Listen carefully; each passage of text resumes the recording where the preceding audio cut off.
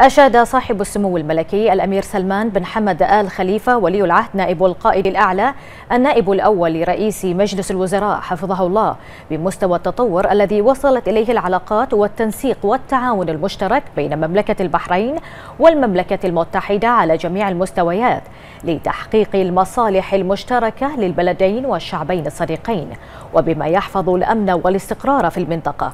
جاء ذلك لدى لقاء سموه حفظه الله في قصر القضيبية اليوم بحضور معالي الشيخ سلمان بن خليفة آل خليفة وزير المالية والاقتصاد الوطني وسعادة الفريق الركن ذياب بن صقر النعيمي رئيس هيئة الأركان مع الفريق السير جون لوريمير كبير مستشاري الدفاع للشرق الأوسط بالمملكة المتحدة حيث تم خلال اللقاء استعراض عدد من القضايا والتطورات الإقليمية خاصة ما يتعلق بالأمن والاستقرار في المنطقة.